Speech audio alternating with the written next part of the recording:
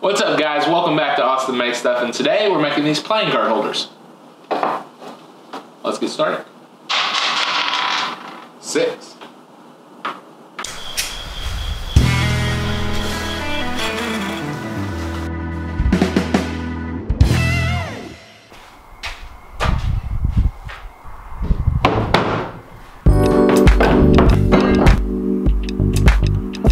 So what I started off doing was making them into 8 inch sections.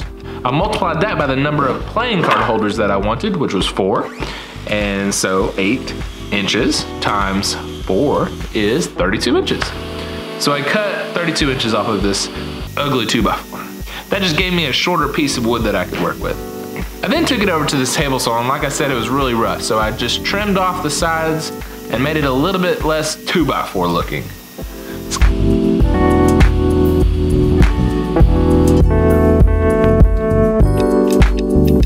After I did that on both sides, I tilted the blade to about 20 degrees and cut off the corner of it, just to give it a little bit different look.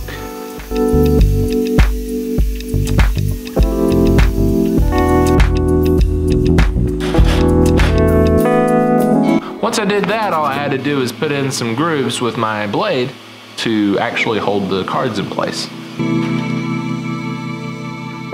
I just did that from the back three quarters of an inch and just moved the fence over three quarters at a time until I got three slots.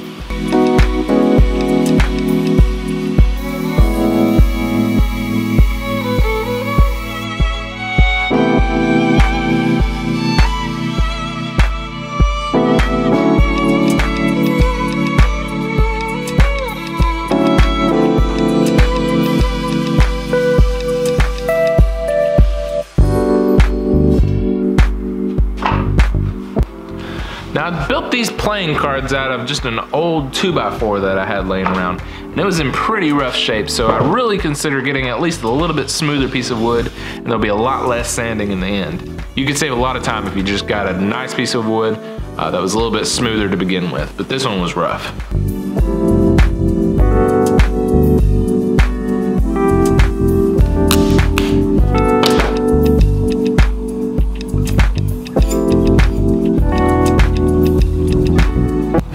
After all that sanding, all that was left to do was just apply the finish, and that was it.